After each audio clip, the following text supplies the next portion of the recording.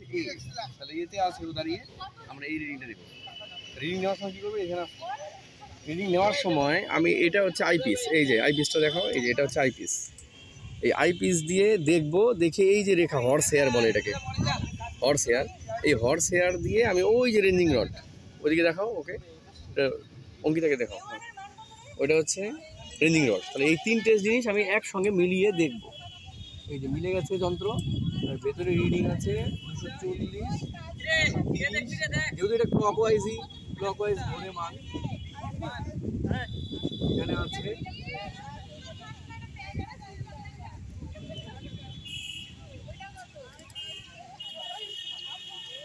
চল্লিশ, দুশো তিরিশ। একত্রিশ, বত্রিশ তেত্রিশ চৌত্রিশ। দুশো চৌত্রিশ ডিগ্রি আছে। টু থ্রি ফোর ডিগ্রি ঠিক আছে? এবার এখানে দেখি রিডিংটা দেখা যায় কিনা।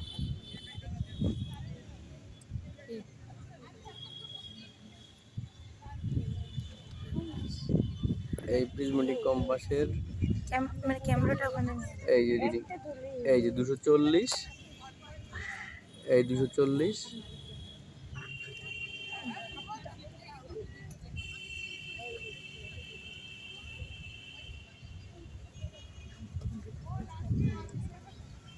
এরকম ভেতরে দেখা যাবে, এখানে অত ভালো দেখা যাচ্ছে না। তাহলে হয়ে গেল। এরপরে আমার কাজ হচ্ছে ঠিক আছে কুয়াশা একটু নিয়ে যাও তাহলে এ হয়ে এবার যাও, এখানে যাও, এখানে। কুয়াশা, এখানে যাও।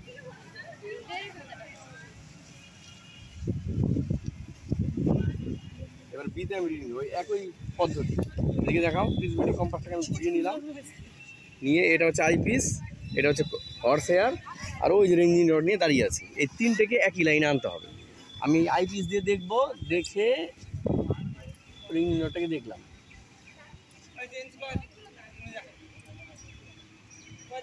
হ্যাঁ, এখানে একটু অস্পষ্ট লাগছিল তাই আমি একটু নামিয়ে নিলাম। এখন ক্লিয়ার হয়ে যাচ্ছে। দেখো তো রিডিং কত।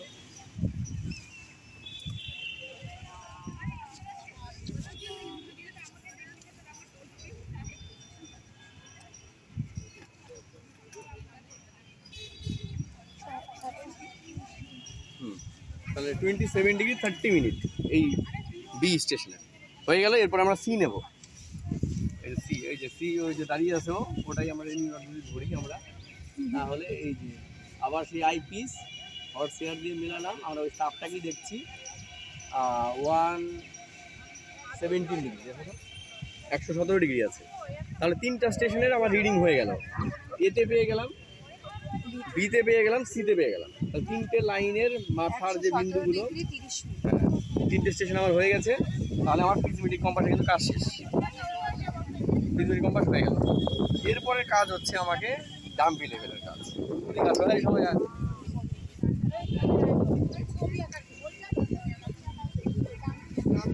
এবার ডাম্পি লেভেলটা আমরা এমনভাবে সেট করব যেন পুরো স্টেশন একটু পুরো স্টেশন দেখতে পারে। একটু এই শর্ত। একটু এদিকে বাঁদিকে চাপ। বাঁদিকে যাব একটু। ওই যে আমাদের এখানে গ্রাউন্ড পিন নেই তাই বোতল দিয়ে রেখেছি।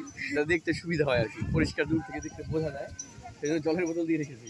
তো এই যে এক দুই আর মাঝখানে হচ্ছে মাঝখানে ইয়েটা উঠে গেছে।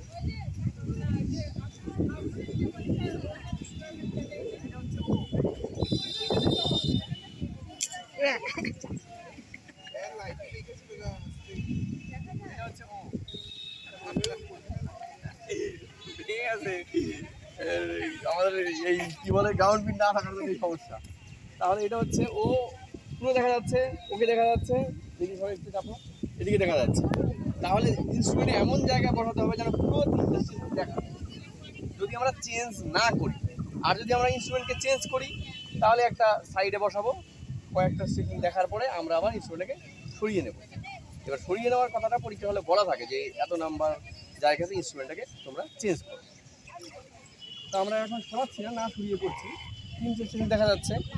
এবার লেভেলিং করতে হবে এদিকে। লেভেলিং করার নিয়ম হচ্ছে এটা হচ্ছে বাবল টিউব আর এই দুটো হচ্ছে স্ক্রু স্ক্রু দুটো এই বাবল টিউবের সাপেক্ষে হয় ইনওয়ার্ড না হলে আউটওয়ার্ড ঘোরাতে হবে। তাহলে আমি আউটওয়ার্ড ঘোরাচ্ছি। বা ইনওয়ার্ড ঘুরে দেখব যে নড়ছে কিনা এই নড়ছে। এই যে বাবেল চলে আসলো। মাঝখানে চলে এসছে বাবেল। এবার কি করব? এই টেলিস্কোপটাকে আমার ভার্টিক্যালি এইভাবে সোজা করলাম। মানে এই দুটো স্ক্রুর সাপেক্ষে ভার্টিক্যালি করলাম। করিয়ে এবার দেখো, এই যে এটা ঘুরাচ্ছি। অনেক সময় ঘুরালে নাও নড়তে পারে। তখন কি করতে হবে? এই যে এটা আর আর সরছে না। আর এর স্ক্রুর যে লিমিট দেখো যে শেষ, এখানে দেখাও স্ক্রু আর ঘুরছে না, আর এটাও আর আসছে না। এরকম যদি সমস্যা হয় সেই ক্ষেত্রে কী করতে হবে, আমাকে এই পাটাকে একটু সরিয়ে নিতে হবে।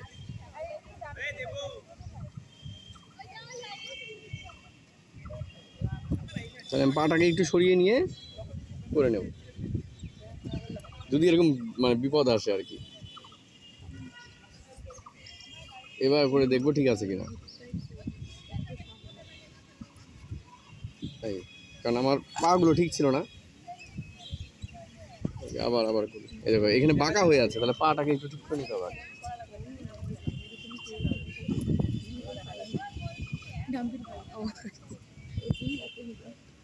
তাহলে এই যে দুটো। হয়ে গেল মাঝখানে, এবার ভার্টিক্যালি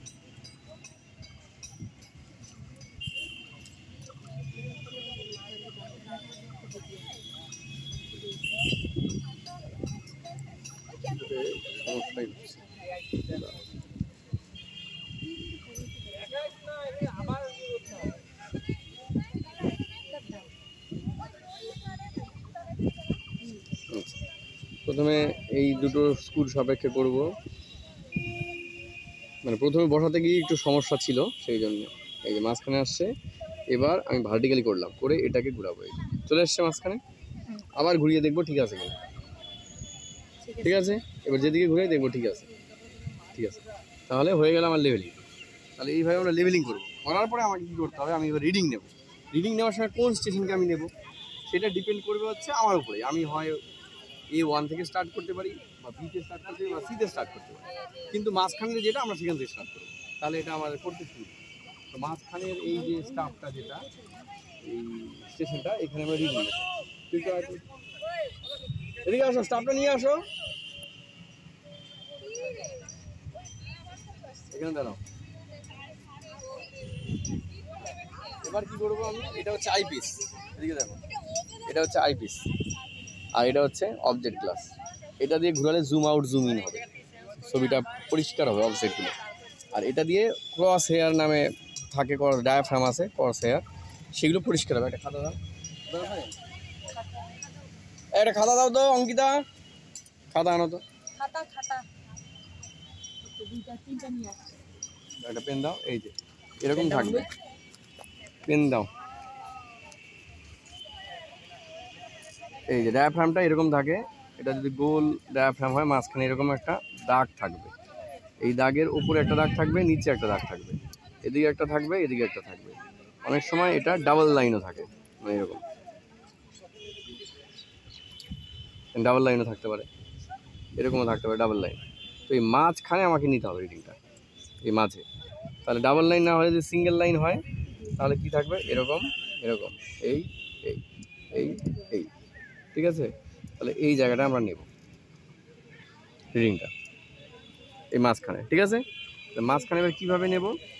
এই যে স্টাফ হয়, এই যে স্টাফের এই যেগুলো দাগ, এবার ডায়াফ্রামটা হয়তো এরকম গোল এরকম বসবে। তাহলে এই সেন্টারে যে মানটা হবে, সেটা নিতে হবে। এদিকে আসো একটু।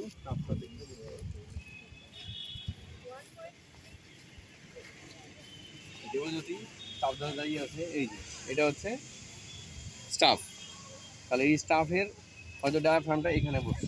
মানে এইখানে আসছে মাঝখানের লাইনটা তাহলে এটা one point three zero zero এই জায়গায় আসছে এবার কালো, সাদা কালো, সাদা, এই কালোগুলো হচ্ছে ওয়ান সাদাগুলো হচ্ছে পয়েন্ট জিরো ফাইভ তাহলে যদি এই যে one two three four five six seven eight nine ten আর মাঝখানে সাদাগুলো আসলে জিরো ফাইভ আসবে। জিরো ফাইভ বলতে যদি আমাদের মনে করে এইখানে আসে একটা রিডিং তাহলে one point three one point প্রথমে থ্রি তারপর এক, দুই, তিন, চার, লিখলাম চার, তারপর আছে সাদাতে মানে জিরো ফাইভ তার মানে ফাইভ এই one point three four five three ডিজিটের রিডিং আছে, ঠিক আছে? তো ডাম্পি লেভেলের এই স্টাফের ক্যালকুলেশনগুলো পরে আমি দেখাবো। তো তো এইভাবে আমাদের রিডিংগুলো নিতে হবে। তাহলে প্রথমে হচ্ছে ও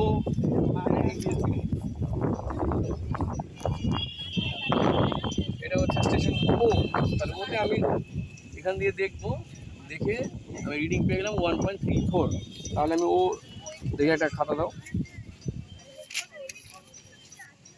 এই যে, এখানে বাক্স বসানো থাকবে, আমি ওতে রিডিং দেবো প্রথম রিডিংটা হচ্ছে বিএস প্রথমটাকে বলা হয় বিএস তাহলে বিএসে আমি ওয়ান পয়েন্ট টু ফাইভ বসিয়ে দিলাম, হয়ে গেল।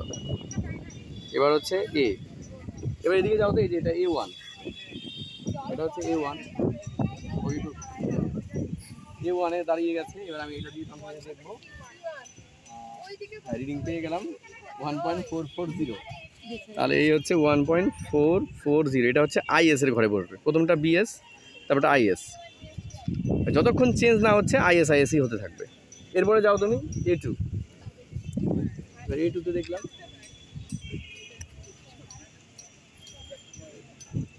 এ টুতে মান চলে আসছে one point four three five তাহলে এই যে ওয়ান পয়েন্ট আইএস এর ঘরেই বসবে। ফোর থ্রি ফাইভ হয়ে গেল। তাহলে আমার এর ঘর শেষ। ও এ ও এ টু এবার বি নেব আর বি টু নেব। বি ওয়ান বি টু এদিকে আসো এবার বিতে যাও। দেখছি যে একটা ঝুমঝুমি রেখে দিয়েছে সামনে এবার হচ্ছে এটা হচ্ছে বি ওয়ান এবার বি ওয়ানে দেখছি আমি যাও যাও। ওয়ান পয়েন্ট ফোর ওয়ান তাহলে এই হচ্ছে এটা আইএসের ঘরেই বসবে। One point three one sorry one point three one zero এটাও আইএসের ঘরেই বসছে। এটা হচ্ছে বি ওয়ান এবার বি টু নেক্সট এবার বি টুতে যাও।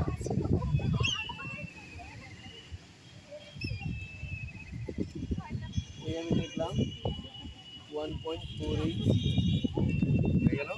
এ বসা এই যে এটাও আইএসের ঘরেই বসবে। যেহেতু ইনস্ট্রুমেন্ট চেঞ্জ হয়নি, তাই সবগুলো আইএসের ঘরেই বসবে। হয়ে গেল বি টু এবার সি ওয়ানে সি ওয়ানে যাও।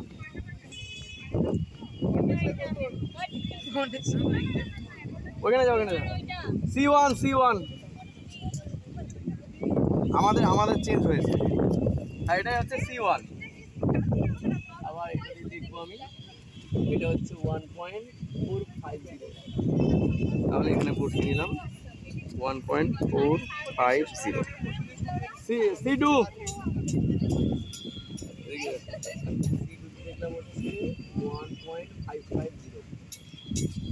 এবার সি টু মানে শেষ। আর নেই আমার রিডিং তাহলে এটা বসবে এফ এসে one point five five zero তাহলে আমার ডাম্পি লেভেলে এই যে রিডিং নেওয়া হয়ে গেল শেষ। আমি ইনস্ট্রুমেন্ট এখানে কোনো চেঞ্জ করিনি। এটা ইনস্ট্রুমেন্ট চেঞ্জ ছাড়া রিডিং নেওয়ার সিস্টেম যদি চেঞ্জ করি সেটা পরের দিন দেখাবো। আর আরেকটা জিনিস করতে হবে আমাকে ডিস্টেন্স মাপতে হবে। ও থেকে মাপতে হবে।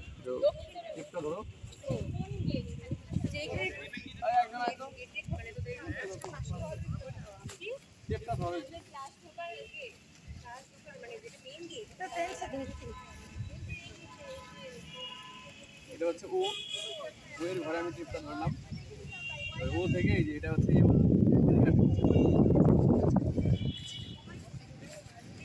ছিল আমার হচ্ছে এ এটা হচ্ছে বি বি ওয়ান তাহলে বি ওয়ানের মাপটা আমি দেখব যে। আমরা মিটারে নিতে পারি ফিটেও নিতে পারি।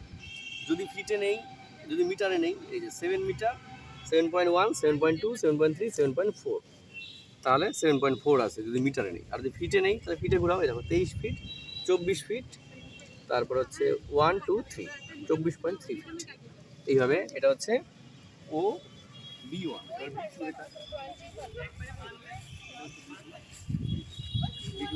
মিটারে যদি নেই যে fourteen metre fourteen point one ঠিক আছে? আর গ্রাউন্ড পিন থাকলে একদম এক্স্যাক্ট বসানো থাকবে। এটা যদি বোতল দিয়েছি, তাই একটু অসুবিধা হয়। গ্রাউন্ড পিন থাকলে এরকম থাকবে ফরটিন পয়েন্ট ওয়ান আর ফিটে নিলে, এই যে ঘুরিয়ে নেই forty six point three feet ground pin থাকলে এরকম একদম এক্স্যাক্ট মিলে যাবে। তাহলে হয়ে গেল O B one B two একইভাবে O A one A two আর একইভাবে O C one C two এইভাবে আমরা রিডিংটা নেব। তাহলে এইভাবে আমরা যদি পুরো রিডিংটা নিয়ে নিই, তাহলে আমাদের ডাম্পি লেভেলের পুরো মাঠে রিডিং নেওয়ার কাজ শেষ। এরপরে আমাদের ক্যালকুলেশন করে রাইজের মান কত ফলের মান কত আর এর মান কত বের করতে হবে। তারপরে আমরা তিনটা স্টেশনে বসিয়ে আমরা কন্ট্রোলিং করব। কোথায় কোন দিক দিয়ে মান যায় কন্ট্রোলিং করব। ওকে থ্যাংক ইউ এইভাবে করলে আমাদের ইনস্ট্রুমেন্ট হয়ে যাবে। আমার এই স্টুডেন্টকে সবাইকে অসংখ্য ধন্যবাদ।